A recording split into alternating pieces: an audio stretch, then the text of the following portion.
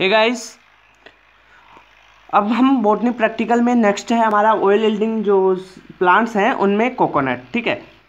जो कोकोनट है, वो आप देखो, उसका कॉमन नेम देखें तो कोकोनट होता है। इसमें क्या लिखना है आपको? लाइनदार पेज में आपको लिखना है common name botanical name family plant part कौन सा यूज़ होता है और इसका इंपॉर्टेंस ठीक है? व्हाइट पेज में इसका डायग्राम बनाना है आपको, ठीक है? ओके तो इसका कॉमन नेम क्या होता है? इसका कॉमन नेम कोकोनट होता है। बोटेनिकल नेम की बात करें तो कोकोस न्यूसीफेरा होता है, ठीक है? और अरेकियसी जो ये फैमिली है, उससे बिलोंग करता है। कौन सा प्लांट पार्ट यूज़ होता है? तो इसका प्लांट पार्ट अगर देखें तो जो फ्रूट होता है, वो ज़्यादा यूज़ में आता है इसका, ठीक है? और इसका जो अदर प्लांट होता है, उससे फाइबर्स बनते हैं तो फाइबर्स के रूप में भी ये यूज़ आते हैं, ठीक है?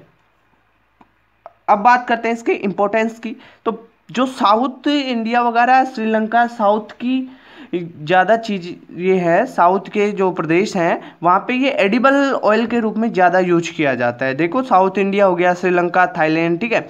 यहाँ पे कोकोनट जो ऑयल होता है, उसको एडिबल ऑयल के रूप में यूज़ किया जाता है। ओके?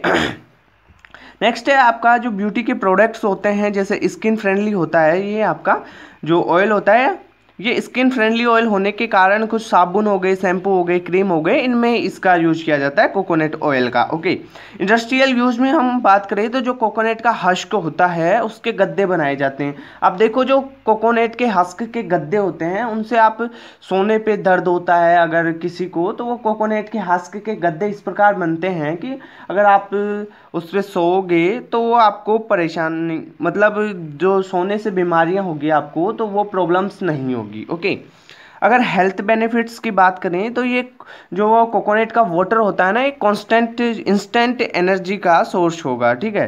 ये जो इंस्टेंट एनर्जी का सोर्स होता है, और ये आरबीसी के फॉर्मेशन को इंक्रीज करता है कोकोनट शरीर में एंटीऑक्सीडेंट्स का लेवल भी बढ़ा देता है, साथ ही ये मेटाबॉलिक रेट को भी इंक्रीज करेगा। अगर इंडिया में कोकोनट के बारे में देखें तो आप देखो कि जहाँ पे भी ये जो हिंदू मैथोलॉजी के हिसाब से आप देखो तो कुछ शुभ कार्य होता है तो उससे पहले जो आप देखो कोकोनट को यूज़ किया जाता है, ठीक है? ये हिंदू मैथोलॉजी में यूज़ किया जाता है माइथोलॉजी में ओके और जो साउथ इंडिया है, यहाँ पे कोकोनट का बहुत ज़्यादा कल्टीवेशन होता है ओके तो गाइस ये हुआ आपकी कोकोनट पे पूरी फ़ाइल अब नेक्स्ट जो आपका ऑयल एल्डिंग प्लांट है, वो है हमारा नेक्स्ट वीडियो में देखेंगे हम आपका